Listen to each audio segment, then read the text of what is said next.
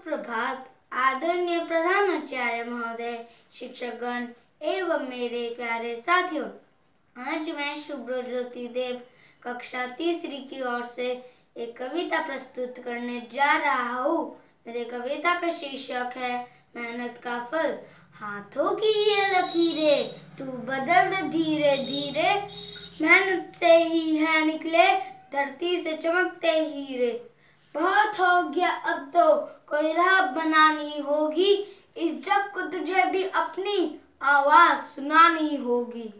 बस तोड़ दे अब तू सारी मजबूरी की जंजीरें मेहनत से ही है निकले, धरती से चमकते हीरे। जो तंज कसे ये दुनिया तो बहरे तुम बन जाओ।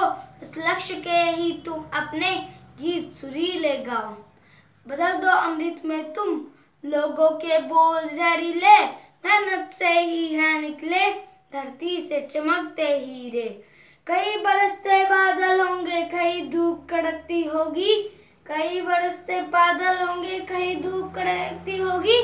फिर भी तेरे सीने में उम्मीद धड़कती होगी, उम्मीद धड़कती होगी।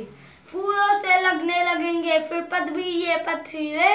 मेहनत से ही यहाँ निकले धरती से चमकते हीरे।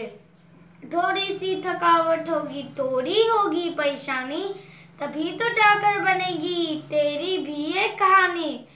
थोड़ी सी थकावट होगी, थोड़ी होगी परेशानी, तभी तो जाकर बनेगी तेरी भी ये कहानी। मत छोड़ हौसला तूड़े बदलेंगी ये तस्वीरें। मेहनत से ही है निकले, धरती से चमकते हीरे।